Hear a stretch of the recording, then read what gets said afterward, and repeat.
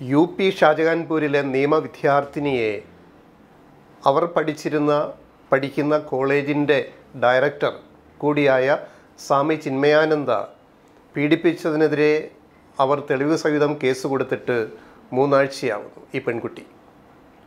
Video തെളിവുകൾ ഉൾപ്പെടെ ഈ പെൺകുട്ടി കഴിഞ്ഞ ദിവസം കേസ് അന്വേഷിക്കുന്ന പ്രത്യേക അന്വേഷണ സംഘത്തിന് കൈമാറി. എന്നിട്ടും ഇന്ന് ഈ കേസ് അന്വേഷിക്കുന്ന അന്വേഷണ സംഘത്തിന്റെ തലവൻ ഐ ജി നവീൻ അറോറ പറഞ്ഞിരിക്കുന്നത് ശക്തമായ തെളിവുകൾ കിട്ടിയിട്ട് മാത്രമേ അറസ്റ്റ് ഉണ്ടാവൂ എന്നാണ്. കഴിഞ്ഞ മൂന്നാഴ്ചയായിട്ട് ഈ കേസ് അന്വേഷിക്കുന്നു.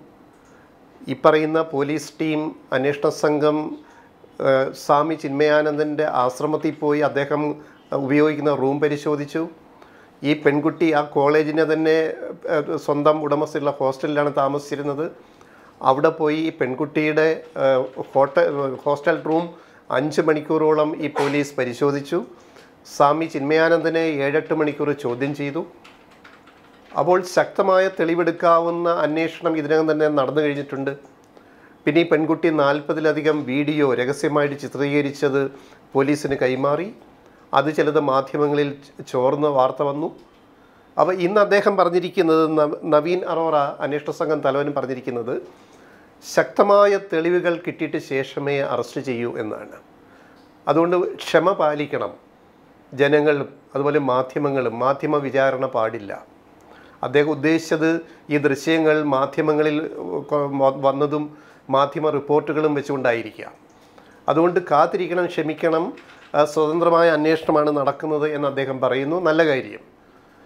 ഈ സ്വതന്ത്ര അന്വേഷണത്തിന് അവസാനം ഇതിനകത്ത് കേസൊന്നും ഇല്ല എന്ന് വന്നു കഴിയുമ്പോഴാണ് ഈ അന്വേഷണത്തെ പറ്റി ജനങ്ങൾക്ക് സംശയം ഉണ്ടാകുക. എന്തായാലും കാത്തിരിക്കാം എന്ന് നമുക്ക് ഒരു വിശ്വാസമുണ്ട് പ്രതീക്ഷയുണ്ട്. കാരണം വെറും യു പി പോലീസ് അല്ല ഇത് അന്വേഷിക്കുന്നത്. സുപ്രീം കോടതി ബെഞ്ച് നിയമിച്ച പ്രത്യേക പോലീസാണ്. ആ പോലീസ് ഉത്തരം കൊടുക്കേണ്ടത് സുപ്രീം കോടതിയിലാണ്. അതാണ് ഇതിനകത്ത് ജനങ്ങൾക്കുള്ള മാധ്യമങ്ങൾക്കുള്ള പ്രതീക്ഷ എന്ന് പറയുന്നത്.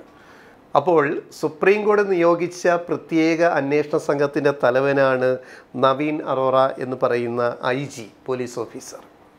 അദ്ദേഹം സുപ്രീം കോടതിയോട് ഉത്തരം പറയേണ്ടതുകൊണ്ട് ഈ കേസിൽ അറസ്റ്റ് വൈകിയാലും ന്യായമായ അന്വേഷണം മുന്നോട്ട് പോകുമെന്ന് നമുക്ക് പ്രത്യാശിക്കാം. കാരണം രാജ്യം മുഴുവൻ ഉറ്റുനോക്കുന്ന ഒരു പീഡന കേസാണ്. ഒരു ബി സന്യാസി മുൻ കേന്ദ്രമന്ത്രി അദ്ദേഹം അവിടെ അദ്ദേഹത്തിന്റെ കോളേജിൽ പഠിച്ച പെൺകുട്ടിയെ പഠിക്കുന്ന പെൺകുട്ടിയെ ഒരു വർഷത്തോളം പീഡിപ്പിച്ച സംഭവമാണിത്. അപ്പോൾ അതൊരു സാധാരണ സംഭവമല്ല. അതുകൊണ്ട് നീതിപൂർവമായ അന്വേഷണം നടക്കും സുപ്രീം കോടതിയുടെ മേൽനോട്ടത്തിൽ എന്ന് നമുക്ക് പ്രതീക്ഷിക്കാം.